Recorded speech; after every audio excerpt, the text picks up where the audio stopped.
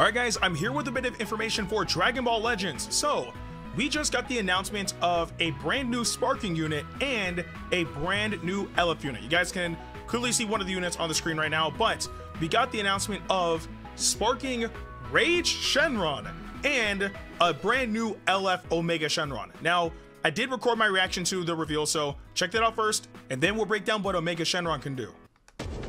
Alright, bro. Let's see. Like, who is it? Okay, Syn. That's Eis. Nuova. Okay, so what, like an LF Omega Shenron? Next Shadow Dragon. Rage? Rage Shenron! What the heck? Rage? What in the world? What? I mean, uh, this was the natural. Rage Shenron! Behold the power of all seven.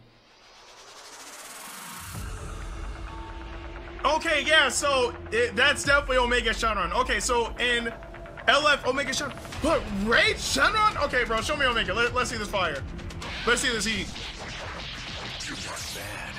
Bro, all the GT buffs. Okay.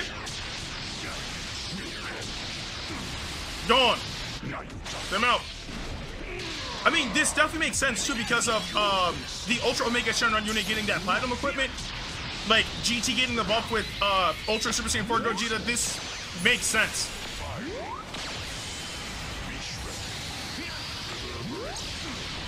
Okay, Dragon Thunder. Oh. Okay, he's just using everything. Farewell, Goku. Your friends will soon join oh. you. Okay. I'll take an LF Omega Shenron. But Rage? I'm still shook at the fact that we're getting Rage Shenron, like, especially before Oceanus, but hey, it is what it is. Anyway, so we do have LF Omega Shenron. We're going to skip the summarization so we can actually break down his full abilities. So, starting with his element factor, he's a green unit. His tags are Regen, GT, Absorption, Fusion Warrior, Shadow Dragon, and Powerful Opponent. And his episode is Shadow Dragon Saga GT. Z ability, Z ability 1, plus 22% to tag GT based blast attack and strike defense during battle. Z ability 2, plus 26% to tag GT, tag powerful opponent, or tag regeneration, base blast attack, and strike defense during battle. Z ability 3, plus 30% to tag GT, tag powerful opponent, or tag regeneration, based blast attack, and strike defense, and plus 15% to tag GT based strike attack during battle. And Z ability 4, plus 38% to tag GT, tag powerful opponent, or tag regeneration, based blast attack, and strike defense, and plus 18% to tag GT based strike attack during battle. So uh, again, you can use them on GT, Powerful Opponent, or Regen, but they're primarily saying use him on GT. So there's that. Strike. So yes, just regular Impact Strike. 100% chance to inflict strong poison on hit. Blast armor when charging forward. So that's going to give him a lot of versatility, but uh, obviously units that are immune to those abilities won't, you know, be effective. But apart from that, though, being able to guarantee strong poison on hit is going to be very annoying to deal with. So you really want to make sure that you have units that are able to nullify those abilities or just aid in some sort of way. Blast. Blast, impact. 100% chance to inflict strong poison on hit. Okay, so his basic moves allow him to poison the opponent point blank. So Striker Blast doesn't matter. You get hit, you're getting strong poisoned. Special move deals massive impact damage. The following effects occur upon activation. Plus 30% to special move damage inflicted for 3 timer counts, inflicts all enemies with attribute downgrade, minus 50% to health restoration for 10 timer counts, applies the following effects to enemy on hit. 20% chance to inflict faint. Oh no.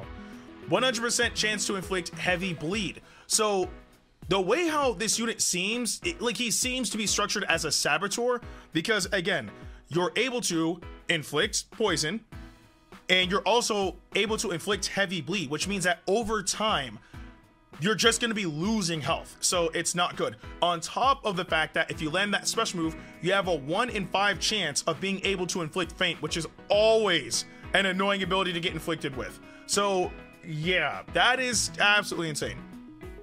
Special skill restores own key by 50, randomly destroys two enemy cards, cancels enemy buff effects, inflicts all enemies with two substitution counts, inflicts all enemies with attribute downgrade plus 20% to damage received for 15 timer counts.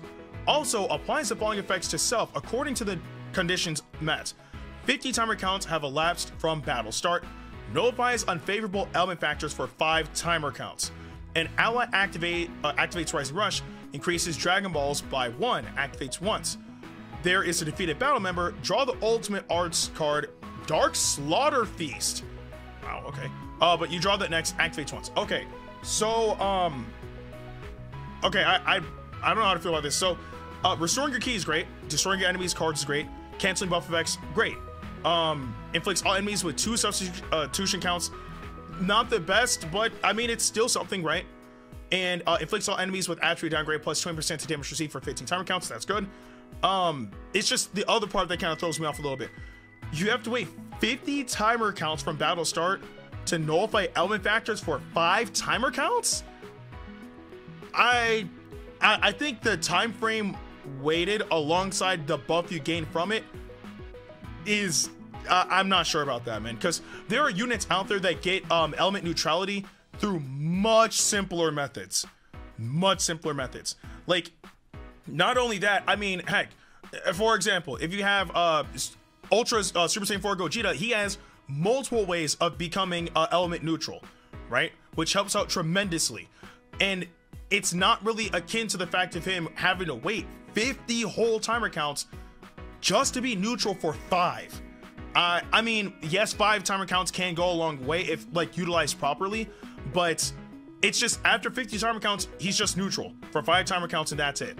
So it, I don't even think like the allotted amount of time like uh wasted, I guess, in comparison to the buff that you get is worth it. In my opinion, if it was like 10 timer counts or even 15, then I think that would have been, you know, worth waiting 50 timer counts. But I mean, still at the end of the day, going element neutral in a general retrospect is always going to be a good thing. And then an ally activates Rising Rush will increase your Dragon Balls by one.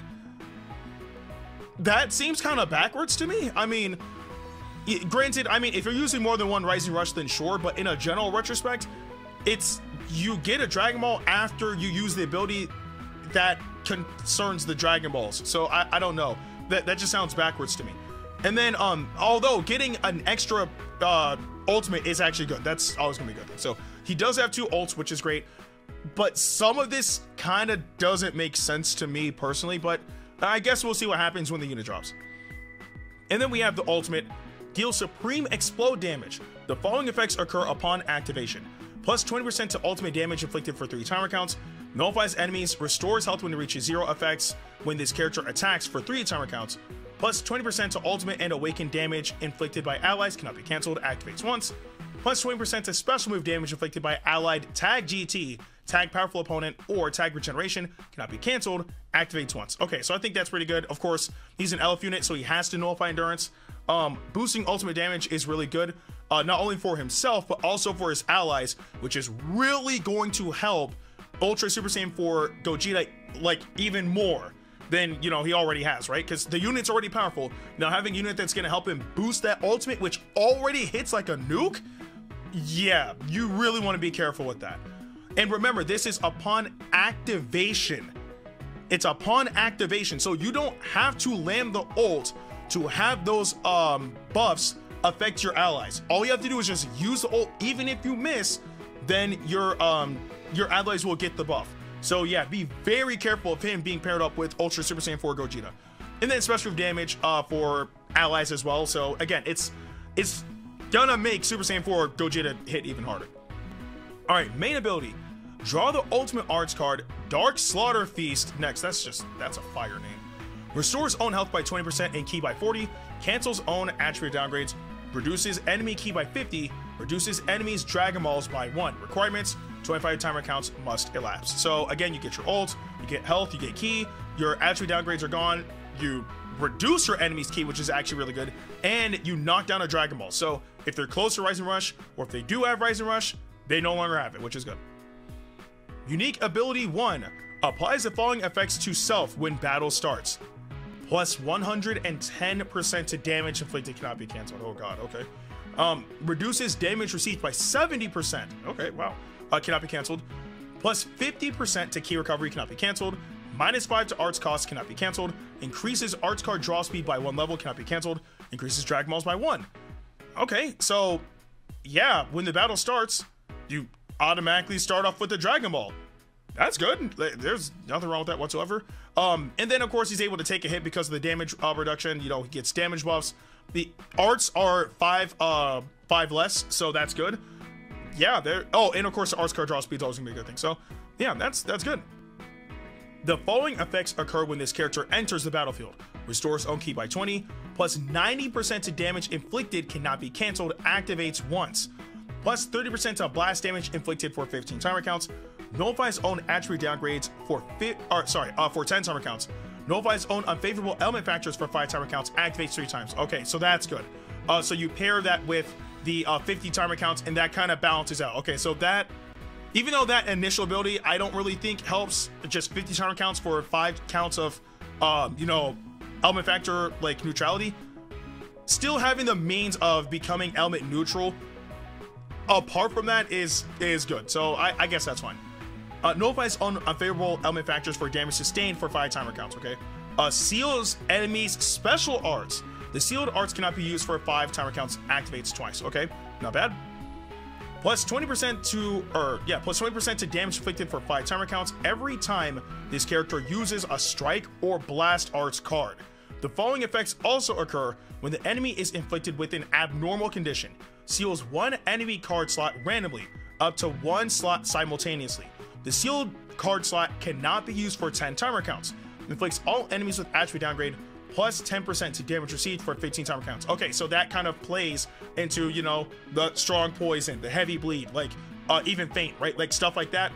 That's what it plays into. So, yeah, you really want to make sure that you're attacking your opponent because it's pretty much a guaranteed ability to activate because when you use strike or blast, they're inflicted with strong poison. Since that's an abnormal condition, right? Then by default, you're to seal an enemy card slot, right? So, and all, obviously, you know, the other abilities as well. So it's it's good.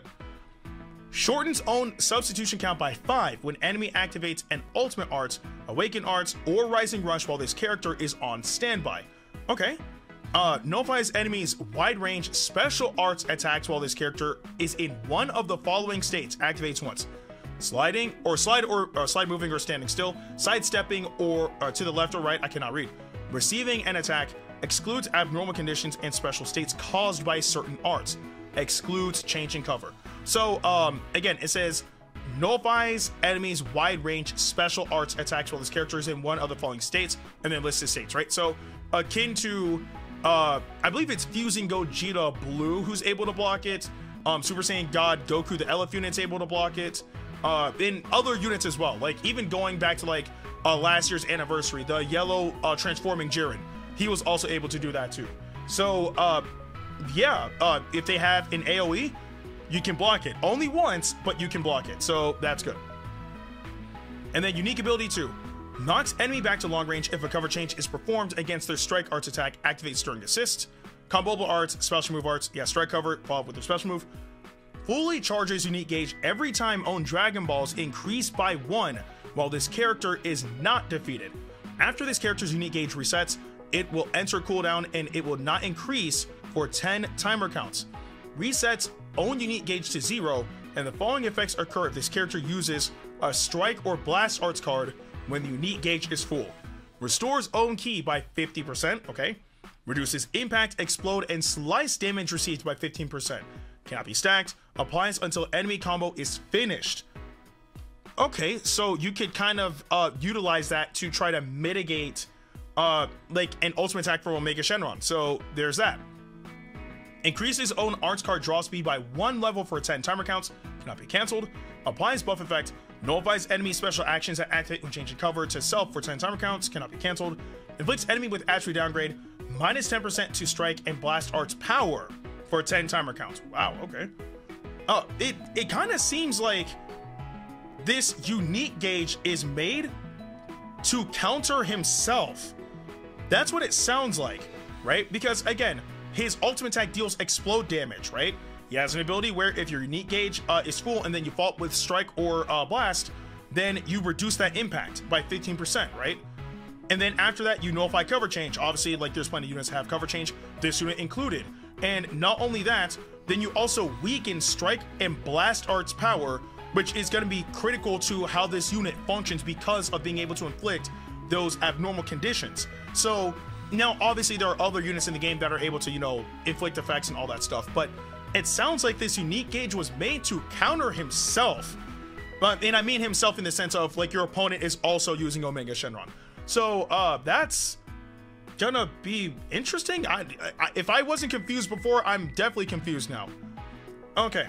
If Onini Gauge is full when hit by an enemy's arts attack while this character is on the battlefield, it resets to zero and the following effects occur.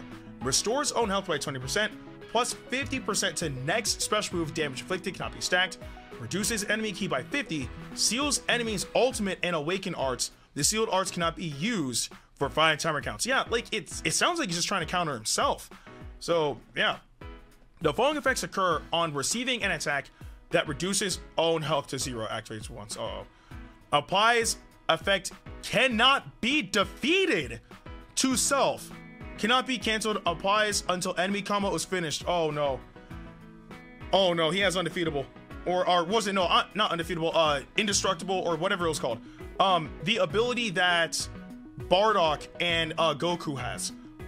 That's what it sounds like to me. Because again, it says that you'll be in that state until the combo is over, right? So the only unit in the game that has that type of ability is Goku and Bardock. So that's not gonna be fun to deal with. Oh goodness. Okay, um, but that is a powerful ability, actually a monstrously strong ability to pair with GT. So that's actually really, really good. And then cancels own attribute downgrades and abnormal conditions, of course. Nullifies own attribute downgrades and abnormal conditions for 10 timer counts. Destroys all of your enemy's cards. Yeah, it's.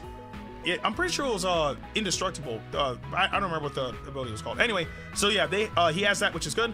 Applies the following effects itself after effect cannot be defeated has ended. Restores health by 50%, plus 20% to damage inflicted cannot be cancelled. Increases Dragon Balls by 1. So, um, those are all of Omega Shenron's abilities when it comes down to uh, some of his abilities, I'm kind of questionable about, and it's more so like we just have to see it in action. But then you get to like the very bottom of his abilities, right? And you see that he has uh, the same mechanic that Goku and Bardock has, which is a strong ability. Again, it knocks down your entire, like your opponent's entire hand, completely gone, and you stay in that state until the combo ends, which means the moment you get into that state, the opponent's combo is automatically over. It's automatically over because if they continuously attack you, it it afflicts or inflicts no damage to you whatsoever. Even if they're to combo into an ultimate attack, combo into rising rush, uh, whatever the case may be, it doesn't matter. Also, I think it's actually a really good thing that this unit is a green unit for GT in particular because one, GT could honestly use like a better green unit. Like we did get like, I think it was Trunks, uh, Baby Parasitism or something like that, but we definitely could use a better green unit. And not only that, against the likes of fusing Super Vegito, not only does this unit have element factor advantage against him, but he's a hard counter to his Rising Rush mechanic.